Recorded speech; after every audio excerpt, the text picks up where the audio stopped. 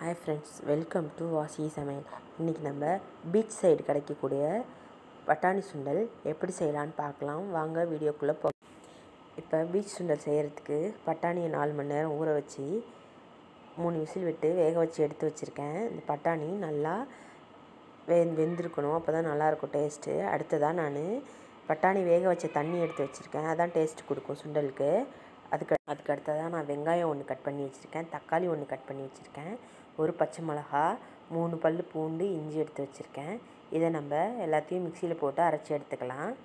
இப்போ நம்ம பேன் வச்சுக்கலாம். பேன் வச்சு ஆயில் விட்டாச்சு. அடுத்ததாக நம்ம இஞ்சி பூண்டு வெங்காயம் தக்காளி பச்சை மிளகா அரைச்சோல அந்த பேஸ்ட்டை இதில் ஆட் பண்ணிக்கலாம். அதுக்கு அடுத்ததாக நம்ம மஞ்சத்தூள் ஆட் பண்ணிக்கலாம். அடுத்ததாக உப்பு சேர்த்துக்கலாம். அதுக்கப்புறம் நம்ம நல்லா கலந்ததுக்கப்புறம் ஒரு ஸ்பூன் சில்லி பவுடர் சேர்த்துக்கலாம். சில்லி பவுடர் சேர்த்தாச்சு. அடுத்ததாக நம்ம மல்லித்தூள் ஒரு ஸ்பூன் ஆட் பண்ணிக்கலாம். அடுத்ததாக கரம் மசாலா ஆட் பண்ணிக்கலாம். ஆட் பண்ணோன்னே நல்லா வதக்கிடலாம். இப்போ நல்லா எண்ணெய் எண்ணெய் பிரிஞ்சு மேலே வரும்போது நம்ம பட்டாணி வேக வச்ச தண்ணியை இதில் சேர்த்துக்கலாம். சேர்த்துட்டு நல்லா கலந்துக்கலாம். இது நல்லா ஒரு கொதி வந்ததுக்கப்புறமா தான் நம்ம பட்டாணி சேர்க்கணும். இப்போ நல்லா கொதிச்சிருச்சு. இப்போ நம்ம வேக வச்சு எடுத்து வச்சுருக்க பட்டாணியை இதில் சேர்த்துக்கலாம்.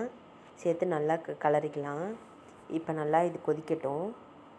இது நல்லா திக்காகிற வரைக்கும் கொதிக்கட்டும். இந்த டைமில் நம்ம அடுப்பை சிம்மில் வச்சுக்கலாம். இப்போ பார்த்தா நல்லா சுண்டிடுச்சு.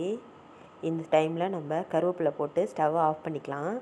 இப்போ நல்லா சுண்டல் கெட்டி ஆயிடுச்சு கொஞ்சம் நேரம் கழித்து பார்த்தா நல்லா தண்ணியெல்லாம் ஈர்த்து சுருண்டு வந்து பீச் சைடு சுண்டல் சூப்பராக ரெடி ஆகிடுச்சு நீங்களும் வீட்டில் ட்ரை பண்ணி பாருங்கள் இதை பச்சு கூட சேர்த்து சாப்பிட்டு பாருங்கள் டிஃப்ரெண்ட் டேஸ்ட்டாக இருக்கும். இந்த வீடியோ பிடிச்சிருந்தா லைக் பண்ணுங்கள் ஷேர் பண்ணுங்கள் கமெண்ட் பண்ணுங்கள் மறக்காமல் வாசுகி சமையலுக்கு சப்ஸ்கிரைப் பண்ணுங்கள் தேங்க்யூ ஃபார் வாட்சிங்